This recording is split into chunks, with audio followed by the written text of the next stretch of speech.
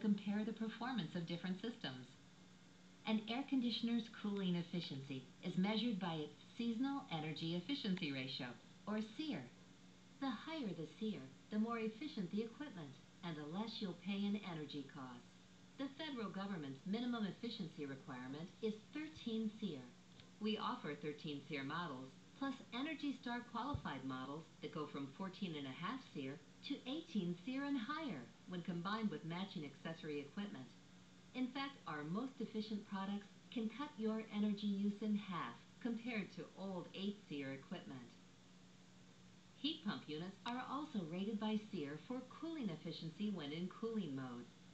For heating, the efficiency of heat pumps is measured using HSPF, or Heating Seasonal Performance Factor. We offer heat pumps from 13 to 18 SEER and higher, plus 8.0 to 10.0 HSPF. The higher the number, the more efficient the unit, and the greater your savings. Gas furnaces are rated with the Annual Fuel Utilization Efficiency, or AFUE. We offer non-condensing furnaces that meet the minimum federal standard of 80% AFUE.